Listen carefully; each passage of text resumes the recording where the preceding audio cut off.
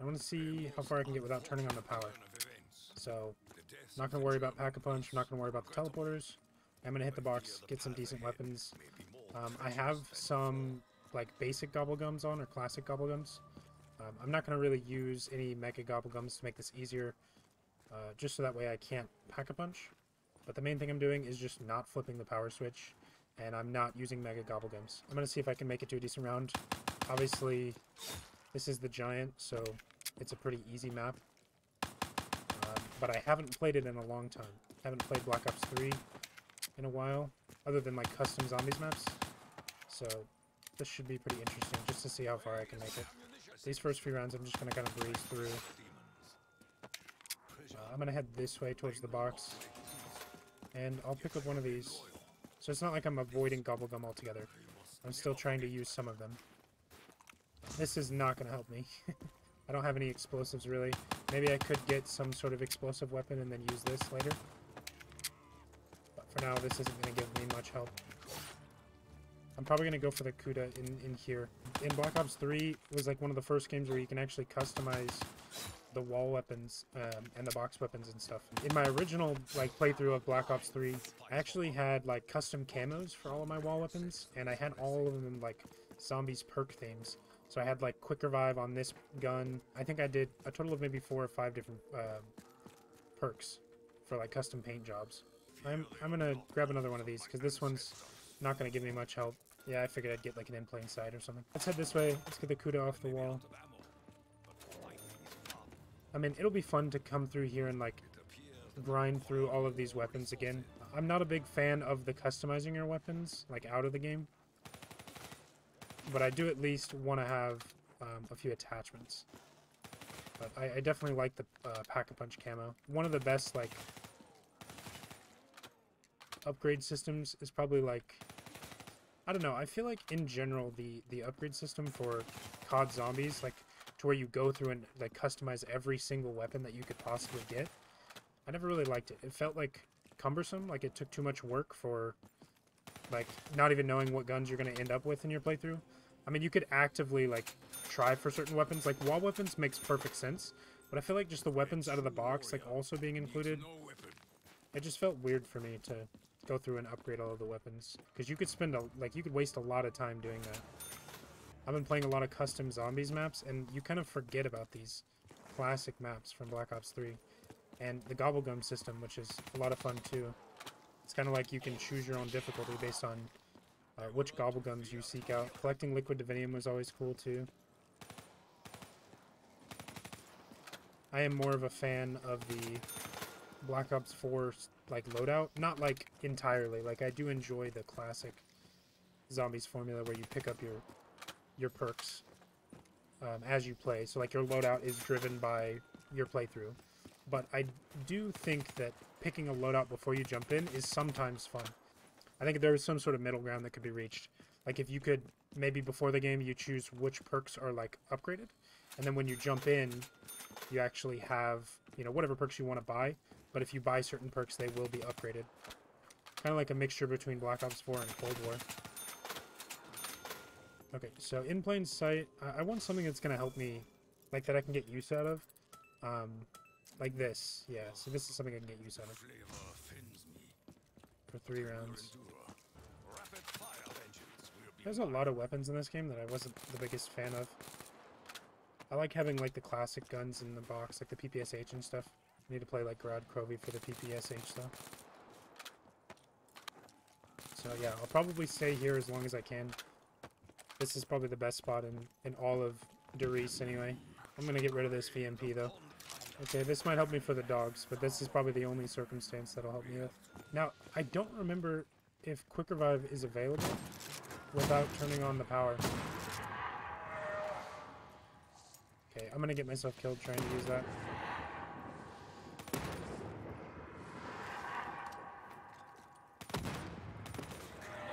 Okay, cool. Does this refill my ammo? Nope. Oh, cool. I can get Quick Revive. Nice. I remember this, like, paw print back in the day. Um, if you, like, looked at it and held F or something, it would make a noise uh, in World at War, and a lot of people would say that would like upgrade your jug. There was another one up there. The people said upgraded your jug as well. I always like the little Easter egg on this map where you can get the extra perk over there from underneath the snow. That was always really cool. Because when they do like remakes like this, you never really expect them to add new Easter eggs. But just adding like another perk machine was always really cool to me. Also the mystery of not knowing what other perk you can get on this map. Okay, I need to stop messing around. Play a little bit more cautious. I do need to get a different gun. This Argus isn't going to help me if I swap to it really quickly. Oh, that almost killed me. Okay, this is probably going to kill me as well. There's so many big LMGs in this in this box right now. There's some liquid divinium. And another Argus. Okay, well, at least I can get quicker rev. That is actually nice. That means I'm going to be able to make it a little bit further. Now, if there was a classic Gobblegum that made me reload faster, that would be helpful.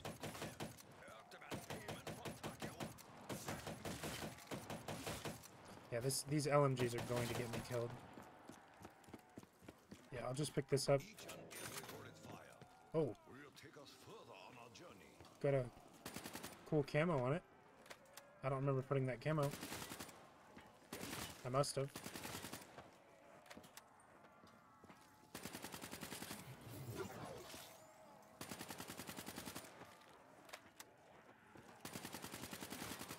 I don't typically camp right here, but this is okay for these early rounds. I'm going to get to a point where I can't camp anymore. Like, as soon as Pack-a-Punch becomes necessary, that's about how long I can camp here. Sword Flay. This isn't going to really help me. This game does have some pretty solid wall weapons, though. I'm not even sure what I'd even want out of the box.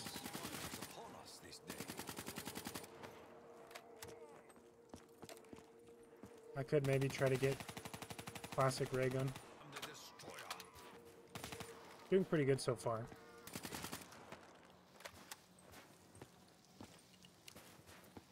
Okay, let's let's hit the box a couple more times. There's no other thing to use my points on. Like I don't even need to open up the rest of the map. Okay.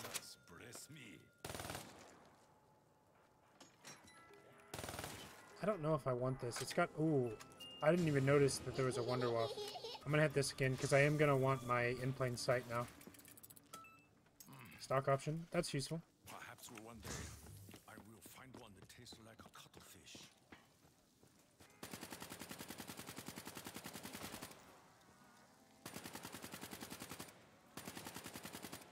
I miss uh, playing these old zombies games like with other players. It was always so cool to uh, I don't know, just camp camp catwalk with your friends. Come on, give me a Wonder Waff. That'd be nice.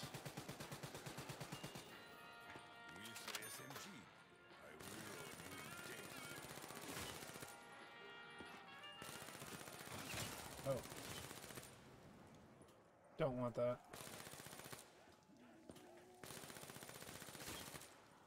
I'm gonna go pick up some ammo for this.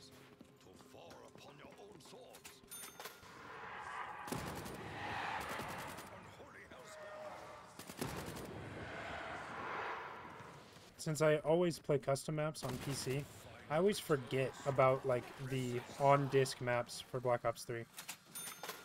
I'm feeling the nostalgia of coming back to these, which is nice. There's a lot of these maps that I do want to play again. Shadows of Evil, definitely.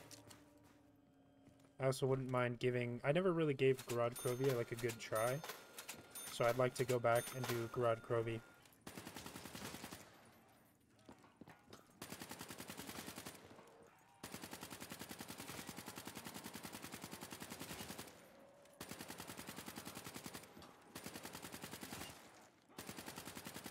Stock option is about to run out. Now we're back to reloading.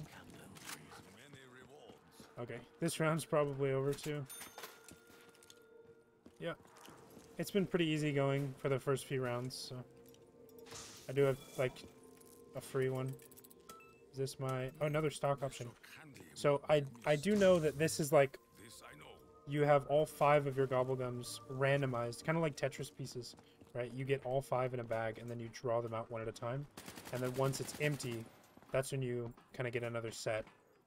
So it looks like I got stock option at the end of my last set and at the beginning of the next set. So I can't get stock stock option for the next four gobblegums. I always like that system. Makes the most sense. Okay, now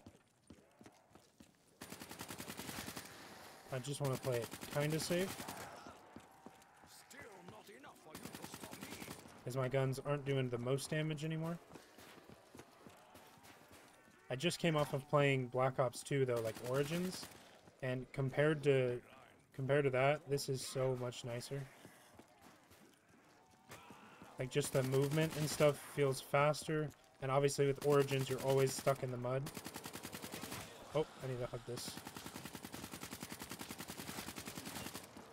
Your path leads you to your This I feel so fast. I am gonna save a zombie and then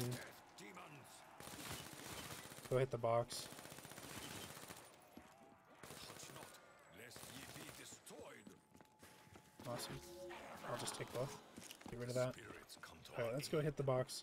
I'd like a wonder uh, but I'd like a like a panic weapon that I can just kind of whip out and clear the horde. I forget I have to go. Oh. I completely forgot about that. I completely forgot about that part. Okay, well, I guess this is what I get. So I completely forgot that after. So on this map, when you drop down here, you're supposed to flip on the power, which opens up this bridge and it opens both of these gates. And so that means I can't go back and I can't go and find the box. So I am actually stuck with these weapons.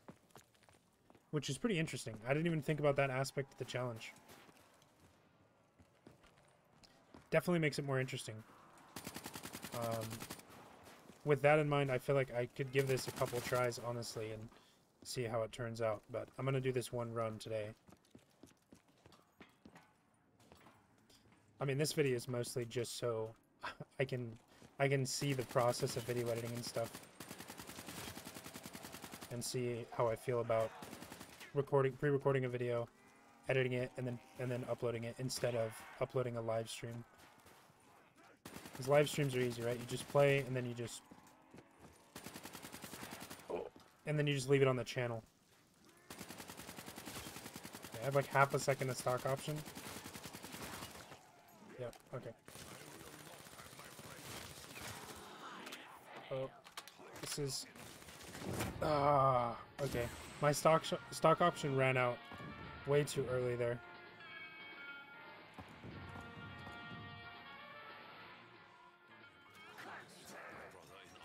Okay, I don't want to get myself stuck back here, but I do want to utilize this. Because this is kind of the only way I'm going to be able to hit the box, right? At least from now on.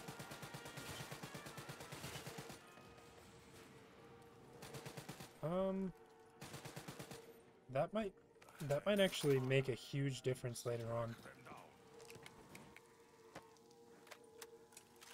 When it gets to a point to where this damage isn't doing enough, like the regular weapon damage isn't doing enough to kill, that locust is going to be huge.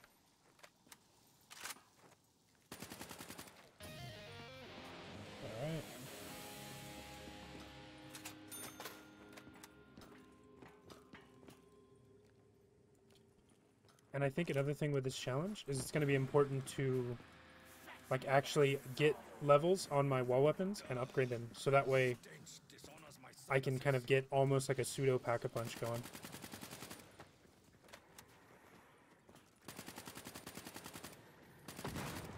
I'd also like to try some first room challenges on this game.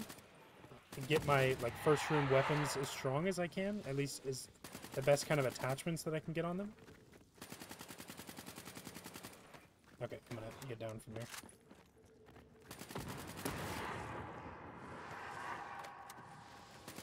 These dogs are actually pretty healthy.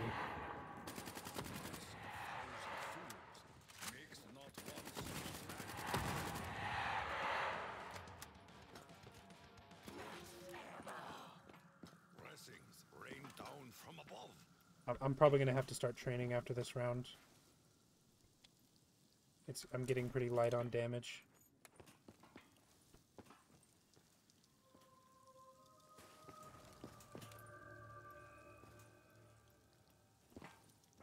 See if this is a one shot. Okay, that is good.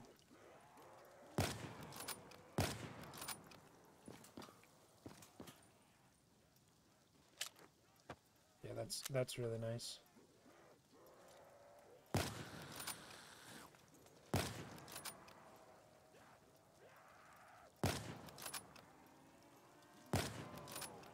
I'm just in a slightly different spot because I don't want to uh I don't want to get trapped up here. So right here I can just still kill them and then I can drop off when I need. Oh. Ah. I forgot to rebuy Quick Revive. Okay, well, 16 rounds is my first try of this challenge. I'll definitely give it another try eventually with that in mind of the fact that once you drop down for that mystery box, you cannot go to the rest of the map and find the mystery box. So you got to get a good gun on the first pull. Otherwise, you're relying on fire sale. All right, well, see ya.